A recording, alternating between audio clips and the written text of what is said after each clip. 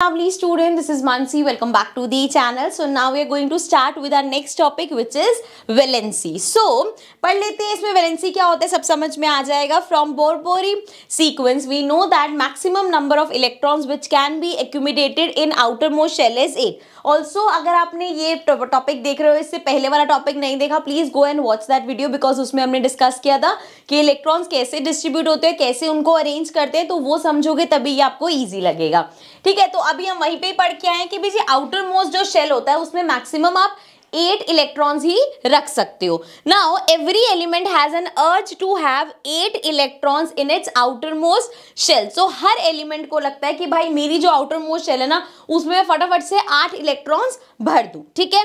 Now in achieving eight electrons an atom can either gain electrons or lose electrons अब वो उसमें क्या करता है? कभी इलेक्ट्रॉन्स गेन करता है, कभी लूज करता है। फॉर एग्ज़ाम्पल अगर उसकी आउटर मोस्ट शेल में एक, दो, तीन, चार, पाँच छ सात इलेक्ट्रॉन्स है तो अब उसको आठ बनाने के लिए सिर्फ़ एक इलेक्ट्रॉन चाहिए। तो वो चाहेगा कि वो एक इलेक्ट्रॉन कहीं से गेन कर ले ताकि उसकी आउटर मोस्ट शेल में एट इलेक्ट्रॉन्स हो जाए। सिमिलरली अगर उसकी आउटर मोस्ट शेल में लेट सपोज़ सिर्फ़ दो इलेक्ट्रॉन्स है सो so वो ट्राई ट्राई करेगा कि भाई दो से आठ बनाने में तो बहुत ज़्यादा लगेगा तो वो कोशिश करेगा कि वो इन दो इलेक्ट्रॉन्स को लूज कर दे क्योंकि इससे पहली वाली जो शेल होगी उसमें फिर आठ कंप्लीट होंगे तभी तो इस शेल पे मूव किया होगा। सो so, वो ट्राई करेगा कि वो लूज कर दे दो इलेक्ट्रॉन्स ठीक है अभी समझेंगे तो और क्लियर हो जाएगा।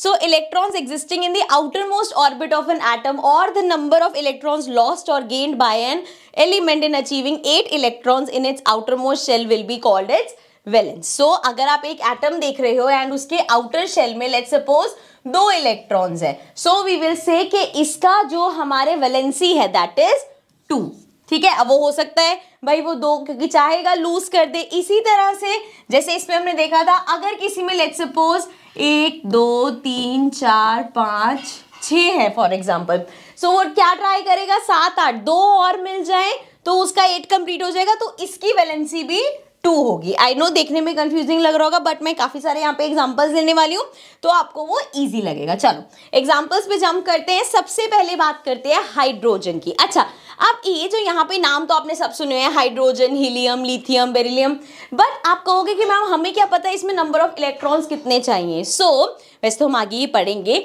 नंबर ऑफ़ इलेक्ट्रॉन्स हमेशा इक्वल होता है नंबर ऑफ़ प्रोटोन्स के एंड वही उसका एटॉमिक नंबर भी होता है। जैसे हाइड्रोजन का एटॉमिक नंबर है वन विच मीन्स उसमें नंबर ऑफ़ प्रोटोन्स भी वन है नंबर ऑफ़ इलेक्ट्रॉन्स भी वन है। सो so, अगर हम हाइड्रोजन की बात करें तो जी ये तो हमारा न्यूक्लियस है।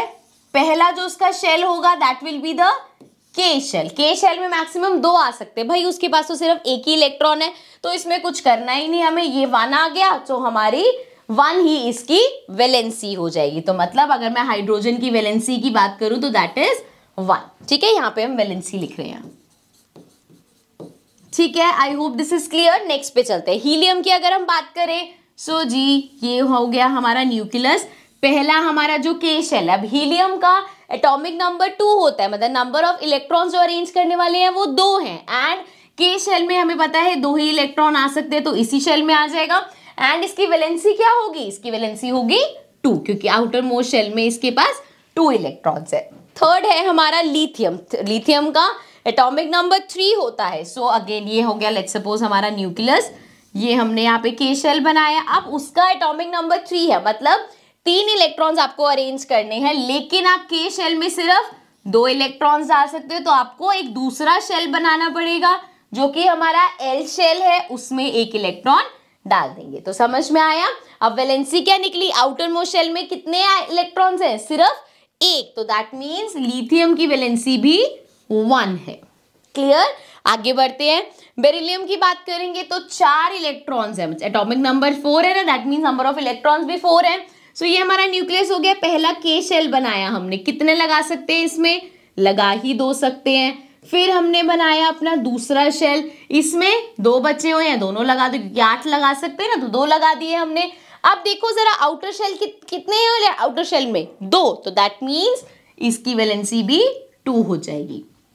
I hope this is clear आगे बढ़ते हैं। अब फ्लोरीन की अगर हम बात करें तो एटॉमिक नंबर है nine that means nine number of electrons आपको अरेंज करने यहाँ पे कर रही हूँ मैं। ये हो गया मान लो न्यूक्लियस ये आया के शेल के शेल में सिर्फ़ दो इलेक्ट्रॉन डल सकते हैं सो वन टू उसके बाद एल शेल बना दिया। अब इसमें बचे कितने हैं? नौ में से दो तो हमने लगा दिए तो सिर्फ़ सेवन बचे हैं।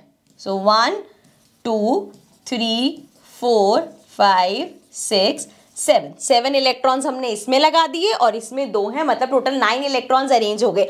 अब वैलेंसी कैसे आएगी? देखो, अब इसके आउटर में सेवन है तो वो क्या ट्राई करेगा कि एक इलेक्ट्रॉन कहीं से और मिल जाए, मेरा एट कंप्लीट हो जाएँगे। सो दैट मीन्स इसकी जो वैलेंसी है that will be one so इसकी वैलेंसी हो गई वन ये चीज़ ध्यान से समझना। क्योंकि यहाँ पे सेवन है तो ये मत समझना कि वैलेंसी सेवन होगी, क्योंकि हमने यहाँ पे जब पढ़ा था, मैं दोबारा से रीड कर देती हूँ, क्योंकि अब समझ में ज़्यादा आएगा। Electrons existing in the outermost orbit of an atom, or we can say the number of electrons lost or gained by an element. तो वहाँ पे वो ट्राई करेगा, वो गेन करने का। तो एक गेन करने का ट्राई करेगा ना दैट इज़ वाई उसकी वैलेंसी वन है। ठीक है, एक और एग्जांपल देखते हैं। सिलिकॉन हमारा 14 होता है एटॉमिक नंबर सो ये हो गया मान लो इसका न्यूक्लियस।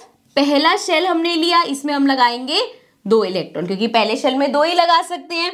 अब दूसरे शेल पे आएँगे तो इसमें हम एट इलेक्ट्रॉन्स लगा सकते हैं। लगा देते हैं एक, दो, तीन, चार, पाँच छ सात, आठ। एट इलेक्ट्रॉन्स यहाँ लग गए, दो अंदर लगे। टोटल टेन इलेक्ट्रॉन्स लग गए। अब हम जब ऊपर वाले इसमें जाएँगे, कितने बचे हैं? चार ही बचे हैं। इसमें भी आठ लगा सकते थे, लेकिन है ही चार so one two three four. Clear अब यहाँ पे थोड़ा सा ट्विस्ट आएगा। अब यहाँ पे आउटर शेल में चार इलेक्ट्रॉन्स है। तो अगर वो चाहे तो या तो उसको चारों लूज करने पड़ेंगे या वो चार और गेन करेगा तो वो एट कंप्लीट कर लेगा। तो दोनों केसेस में वैलेंसी हमारे पास फोर होगी। क्लियर नेक्स्ट देखते हैं। फॉस्फोरस में हमारे पास फिफ्टीन है। सो so, ये हो गया हमारा न्यूक्लियस पहले शेल में दो ही लगा सकते हैं। दूसरे शेल में आठ लगा सकते हैं सो एक, दो, तीन, चार, पाँच छ सात, आठ, ठीक है? अब ऊपर वाले शेल में जाएँगे, देखो टेन हो गए हैं, पाँच बचे हैं तो हम पाँच लगा सकते हैं ना इसमें। So one two three four five ठीक है? अब हम इसकी वैलेंसी कैसे निकालेंगे? यहाँ पे पाँच इलेक्ट्रॉन्स हैं, और अगर इसको आठ कंप्लीट करने हैं तो इसको तीन इलेक्ट्रॉन्स और चाहिए होंगे। सो so, इस केस में हम कहेंगे भाई तीन इलेक्ट्रॉन्स गेन कर लेगा तो इसके आठ कंप्लीट हो जाएँगे तो वैलेंसी थ्री हो गई। But many times you will see कि भैया वो चाहेगा कि पाँच लूज कर दूँ तब भी मेरा कंप्लीट हो जाएगा। सो so, बहुत जगह पे वैलेंसी फाइव और थ्री दोनों मिलेगी। सो so, आप कुछ भी लिखोगे that will be correct last हमारे पास है आर्गोन और उसके एटीन है हमारे पास। सो so, इधर बनाते हैं ये हो गया न्यूक्लियस पहला शेल दो ही लगा सकते हो आप।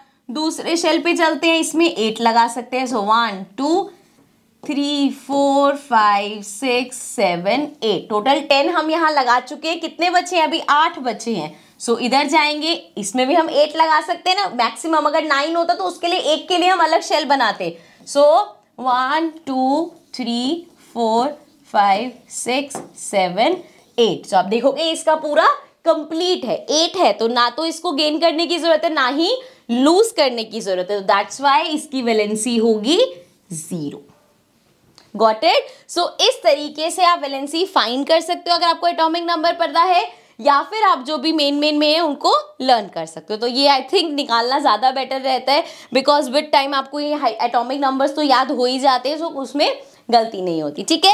So this was our topic about valency अब हम नेक्स्ट में आएँगे, जो हमारा शायद लास्ट सेशन होगा जिसमें हम आइसोटॉप्स आइसोबार्स ये सब डिस्कस करके चैप्टर वाइंड अप करेंगे. So I see you in the next video अगर चैनल को आपने अभी तक सब्सक्राइब नहीं किया तो please make sure to subscribe the channel let's meet in the next video bye for now